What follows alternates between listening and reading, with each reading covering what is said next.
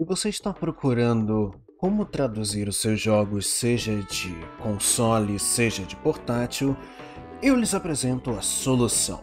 Temos aqui o RetroArch, que é um programa do qual ele tem muitos consoles, muitos portáteis. Como dá para ver, tem muitos.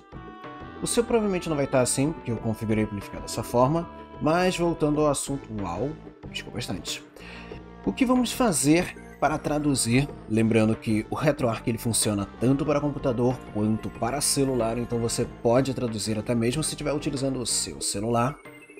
Vamos primeiramente vir aqui nas configurações, vamos em entrada, nesse controle, vamos em teclas de atalho, lá embaixo tem esse serviço de IA.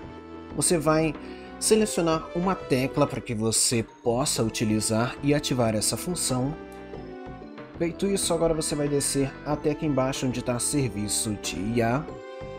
Com essa função, você vai habilitar, a sua vai vir desabilitada, você vai habilitar, vai vir aqui e deixar em modo de imagem e você vai colocar a URL para que você possa fazer uso. Para você poder fazer isso, você vai vir nesse site daqui, o Z-Translate, e nesse site aqui, que está o link na descrição ou no comentário fixado, você vai clicar em Sing Up. Caso você tenha conta, você vai clicar em Login, vai colocar o seu usuário, um e-mail e também vai colocar uma senha para que você possa acessar. Acessou, você vai vir nessa área daqui, ou seja, já vai ter todas as opções, você vai clicar em Settings, que aí você vai ser redirecionado para essa tela daqui. Nessa tela aqui embaixo você vai ter a sua API, que é a chave de API que você vai precisar para fazer a tradução. Caso você queira, você pode gerar uma nova aqui. Você pode copiar também clicando aqui, ou se você estiver no computador, no celular eu não me recordo se dá para fazer isso, mas pelo computador você pode vir aqui, dar um Ctrl C e aí você vai copiar. E lembrando algo muito importante em relação a essa API, ela tem uma quantidade de cotas. Obviamente isso aqui é gratuito, mas ele usa um sistema da Google que é pago. Então são 20 mil que você pode utilizar, 20 mil vezes você pode utilizar, que é como se ele tirasse, ele literalmente tira uma foto da sua tela, envia para o sistema do Google, a API traduz e ele traz para você tudo certinho, bonitinho. Tanto que aqui nas docs ele explica por que, que há esse sistema de cotas e tudo mais.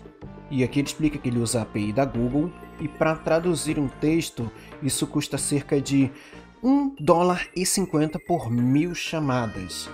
Então, para adquirir o jogo você precisa de 10 mil capturas. Então daria cerca de uns 30 dólares. Aqui ele explica tudo certinho, no site tem, caso você não entenda inglês, tem a opção de traduzir, se o seu não tiver a opção de traduzir, você pode colocar lá no Translate do Google, que ele tem uma opção de site, você coloca o URL e você vai acessar tranquilamente.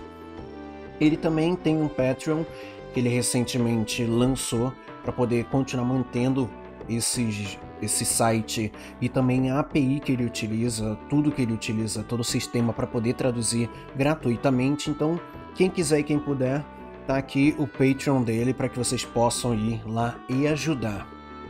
Então, agora que temos aqui a nossa API, vamos até o, o RetroArch e no RetroArch você vai colocar a seguinte informação http ztranslate.net que é o site que a gente vai utilizar barra service escrito dessa forma interrogação API, essa linha, esse underline, e, e aqui o igual, o igual. A chave vai ser aquela chave que você pegou lá, API key. Você vai vir aqui e vai digitar nesse local tudo, HTTP e tudo mais, que aí você vai conseguir ter acesso. E agora tem uma, uma coisa importante que você pode fazer uso aqui dessa API que você pode pausar durante a tradução. Caso seja algum jogo que passa o texto muito rápido, você pode usar essa função aqui que ele pausa o jogo e aí ele vai traduzir e depois vai trazer a tradução para você. Ele demora um pouquinho, é uma coisa bem rápida, mas ainda assim tem jogo que é um pouquinho mais rápido, então para ajudar você pode pausar. Tem também o modo de fala que usa uma voz do Google Tradutor para poder ler o que está escrito, então você pode usar se você quiser. O idioma de origem eu recomendo deixar no padrão, porque aí se você estiver jogando um jogo que está, por exemplo, em japonês, em alemão, em inglês, qualquer idioma você consegue traduzir. E o idioma de destino, português de Portugal. Não tem português do Brasil, mas tem português de Portugal, então já ajuda bastante. Português de Portugal tem uma palavra ou outra que não é utilizada no Brasil ou é um pouquinho diferente no Brasil, mas ainda assim dá para entender muito fácil. Após fazer isso, podemos continuar aqui. Eu estou aqui com Super Mario Bros. de Mega Drive. Vamos então agora traduzir apertando o botão. Tem aqui o texto. Se eu apertar o botão de tradução, ele já faz a tradução aqui. Eu fiz isso durante a minha série de Super Mario Bros 3, então tá aí. Saudações, estou bem, por favor. Recupere o apito mágico escondido na escuridão no fim do terceiro mundo. Anexei uma joia que ajuda a protegê-lo. Princesa Toadstool. Ele não traduz 100% correto, mas ele dá uma compreensão muito boa, ele ajuda bastante a compreender. E conforme você vai usando o sistema lá deles, vai diminuindo um pouquinho as cotas, mas isso daí dá para você utilizar sem se preocupar muito.